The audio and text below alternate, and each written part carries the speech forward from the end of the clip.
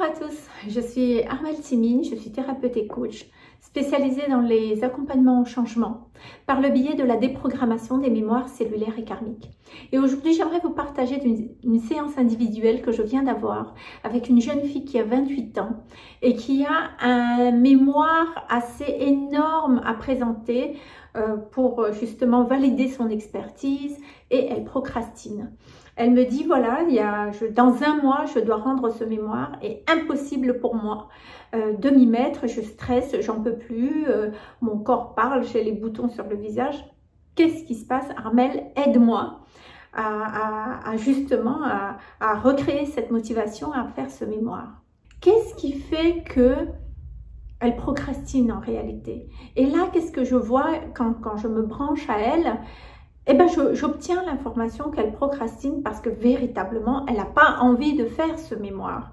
Elle procrastine et en fait, on, sent à quel point c'est dur à l'intérieur d'elle de s'y mettre parce que c'est quand même un travail qui est laborieux d'écrire ce mémoire. Euh, on sent vraiment qu'elle y va à contre-courant. Et effectivement, quand je me branche à elle, j'obtiens vraiment cette information qu'elle n'a pas envie de le faire parce qu'elle le ferait pour satisfaire ses parents et non euh, parce qu'elle a envie elle-même du plus profond de son cœur, en fait. Donc tout ça pour dire que si on a envie de faire quelque chose qui ne soit pas aligné avec le désir de notre cœur, c'est normal que ça soit laborieux, c'est normal qu'on procrastine, c'est normal que ça soit difficile pour nous. Donc la question n'est pas de forcer la mule, c'est pas ça du tout.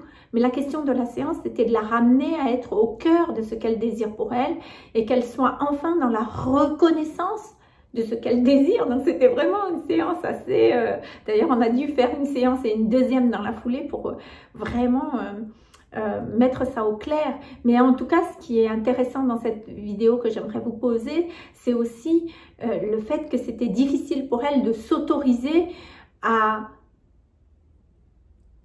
s'autoriser à écouter son cœur, parce que si on écoute son, si elle écoutait son cœur, quelle est l'information qui était là? L'information qui était là, c'est qu'elle n'avait pas du tout envie de passer ce mémoire, mais qu'elle avait tout simplement enfin envie de faire le métier, le métier qu'elle veut en fait, qui a rien à voir avec tout ça. Et du coup, et du coup, la question c'était vraiment pourquoi elle s'autorisait juste pas à dire à ses parents qu'elle s'arrête parce qu'elle se sentait redevable? Elle se sentait redevable. Elle m'a dit, mes parents ont payé ses études pour que j'arrive juste là. J'arrive juste à la fin. Elle me dit, je me sentirais euh, mal parce qu'elle me dit, voilà, je me sens redevable de mes parents. C'est comme, comme s'il est important pour moi que je leur montre qu'ils n'ont pas fait ça pour rien, que je me sacrifie. Mais on ne peut pas aller à l'encontre de son corps, en fait. Et donc, qu'est-ce qui se passe? Justement, je lui ai expliqué que les parents, dans le fond, dans le fond, en fait, en tant que parent, on finance les études des enfants, pas pour qu'ils aient un résultat, mais on finance pour que les enfants essayent, pour que les enfants tentent, pour que les enfants voient si ça leur correspond ou pas. Mais on ne paye pas les études pour qu'il y ait forcément un résultat. Du moins, c'est de cette façon-là que moi, j'éduque ma fille, mais c'est aussi important pour moi de lui poser ça, que les parents payent les études pour tenter l'expérience. Et c'est à elle de dire en finalité si ça, ça lui convient ou pas. C'est comme si on va dans un restaurant. Qu'est-ce qu'on fait quand on va dans un restaurant? On ne peut pas savoir si le plat va nous plaire ou pas. Quoi qu'il en soit, on va faire un choix. On va tenter un plat, on va le commander, mais surtout, on va le payer. La facture, dans la facture, ce plat, il est déjà payé. Et à, une fois qu'on goûte, et qu'on goûte encore, on se dit, bon, oui, au départ, ça plaît, puis au final, on dit, non, c'est pas ça que je veux. Et c'est important de s'octroyer cette liberté à un moment de dire, bon, voilà, j'ai essayé, mais ça ne me plaît pas. J'ai essayé de vous satisfaire, j'avais envie de vous satisfaire, j'avais envie de ne pas vous décevoir. Et c'est juste et c'est correct. Mais à un moment donné, c'est important aussi de se dire, là, je suis en souffrance. Et j'ai besoin de revenir vers ce qui me plaît, ce que je veux. Et j'ai tout simplement de la reconnaissance pour tout ce que vous m'avez fait, plutôt que de se sentir redevable et obligé de continuer à contre-courant dans quelque chose qui ne, qui ne correspond pas.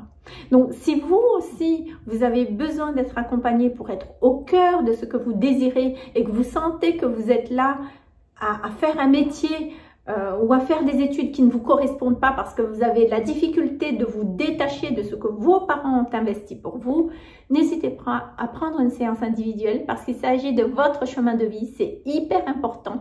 Mais je peux comprendre que ce détachement soit difficile, mais se faire accompagner dans ces moments-là vous permet de le faire, vous accompagne à le faire. Donc n'hésitez pas à m'appeler, moi je serai ravie de vous, de vous accompagner vers ce chemin de votre cœur. Donc prenez rendez-vous soit dans mon cabinet et je vous rencontre dans mon cabinet à Nice, soit à distance par Skype. Donc je vous remercie de m'avoir écouté, euh, likez, partagez la vidéo, mettez un commentaire si vous voulez aussi. Et en attendant, je vous dis à très vite. Au revoir.